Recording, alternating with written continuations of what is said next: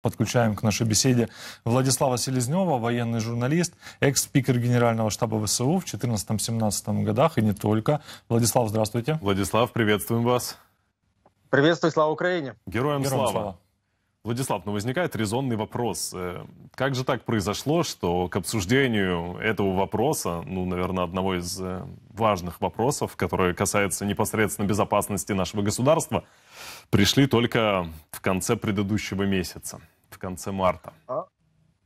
На самом деле история дивная, потому как денонсация всех э, между, э, межгосударственных договоренностей между Украиной и Россией э, к этому треку нужно было прийти еще в 2014 году. Потому что ничем не обоснованная российская военная агрессия, гибридная война, которую развязала путинская Россия еще в феврале 2014 года в отношении суверенной Украины, а оно должно было послужить тем фактором, который должен был полностью закрыть все варианты коммуникации с Российской Федерацией, за исключением лишь трека ведения боевых боевых действий. Но очевидно, что врага необходимо гнать с территории нашей земли, и единственный эффективный способ, с учетом того, что Российская Федерация абсолютно не договороспособное государство, э, это, это трек э, военного воздействия на вооруженные силы Российской Федерации, на Российскую Федерацию в целом.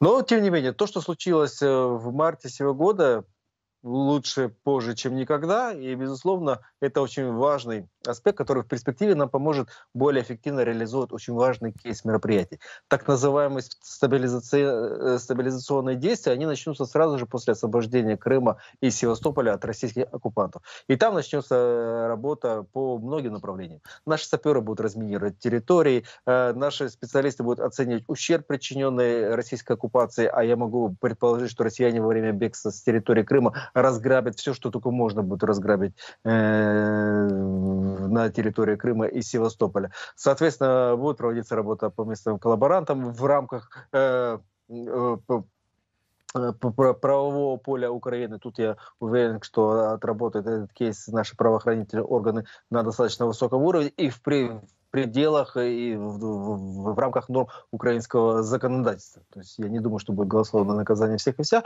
а, но каждый получит по, по заслугам за свои деяния или бездеятельность. Это логично, я считаю это справедливо. И ну, вновь, я также отсылаясь к сюжету, который только что мы смотрели, очевидно, что Украина остается демократическим и правовым государством, и это абсолютно рационально и правильно. Действовать в нормах закона.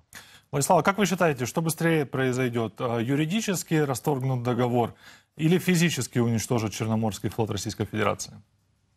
Я думаю, остатки российского Черноморского флота с целью и его сбережения российская же команда примет э, решение о передислокации. Помните? Э, тот самый сланг. Мы принимаем непростые решения сообразно той ситуации, которая сложилась на поле боя. Думаю, таким же образом будут действовать э, российские военные моряки. Не впервой им бежать за пределы Крыма, история, современная история или история там э, каких-то э, 200-300-летней давности имеет немало примеров, когда э, и российский Черноморский флот был затоплен у входа в бухту, в Севастопольскую бухту, либо же его остатки бежали, э, спасаясь от агрессии, э, вернее, от, от наступления соответствующих сил. Поэтому я думаю, что какая-то часть флота будет уничтожена. Я уверен, что как только украинские артиллеристы и ракетчики выйдут на побережье э, Азовского моря у нас появится техническая возможность реализовывать такой план по, в части уничтожения военных кораблей Черноморского флота Российской Федерации. Какая-то часть будет прятаться в бухтах вблизи Новороссийска и Туапсе, э, ну а какая-то часть э, превратится тот самый металлолом или будущий объект для исследования дайверами. Эту миссию уже на себя взял и возглавил Крейсер Москва. флота. Да, да, флагман Черноморского флота Российской Федерации, ракетный гвардейский крейсер Москва. Попытался вспомнить всю его, все его регалии.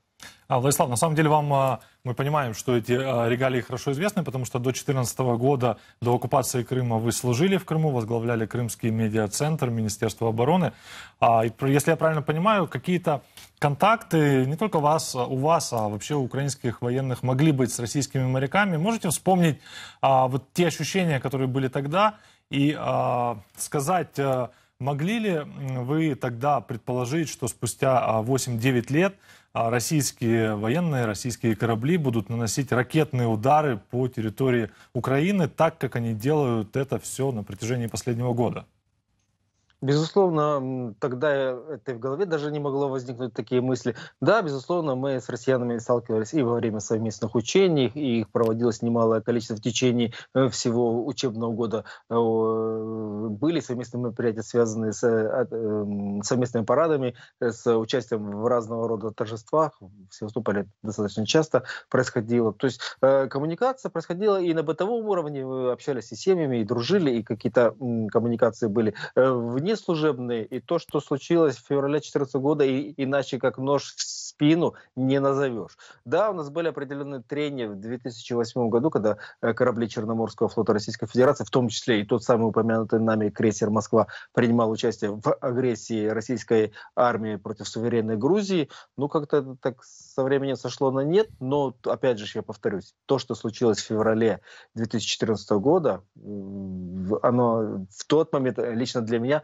оно совершенно исключило из э, восприятия следующую фразу – слово э, российского офицера имеет вес, слово российского офицера это значит понятие чести, достоинства и порядочности, ни, одного, э, ни одно из этих утверждений не имеет ничего общего с тем, что на самом деле себя представляют российские офицеры. Владислав, скажите, пожалуйста, какую реальную угрозу на сегодняшний день российский, российский Черноморский флот представляет для нашего государства? В его нынешнем состоянии, я имею в виду Черноморский флот. А, коллеги, тут я предлагаю все-таки недооценивать э, его боевые возможности Поэтому в настоящее время. Э, в настоящее время в акватории Черного моря находится несколько э, ракетоносителей, э, носителей ракет морского базирования класса «Калибр». Его разрушающее воздействие этих ракет мы все знаем и почувствовали на себе неоднократно. Наиболее яркий пример – это нанесение ракетно-морского базирования класса «Калибр» ракетного же удара по территории абсолютно мирной тыловой Винницы, в результате которого погибли мирные жители, дети. Это страшная трагедия, которая, собственно говоря, говоря, была реализована моряками Черноморского флота Российской Федерации. Безусловно, э, иные составляющие Черноморского флота Российской Федерации, в том числе береговые, э, ракетные войска, береговые, части береговой обороны, морская пехота, безусловно, они являются достаточно серьезным компонентом составляющей Черноморского флота Российской Федерации, но и поток гробов, который постоянно идет в Крым э, э, с южных э, районов Херсонской области, свидетельствует о том, что и хваленных морпехов Черноморского флота Российской Федерации наши артиллеристы били, бьют и далее будут бить, уничтожать. Помним о том, что 90%, фактически 90% российских потерь в живой силе – это результат эффективной работы украинских артиллеристов. Спасибо вам, Владислав. Спасибо. Владислав Селезнев, военный журналист, экс-спикер Генерального штаба Вооруженных сил Украины, был на прямой связи с телеканалом Freedom. Благодарим.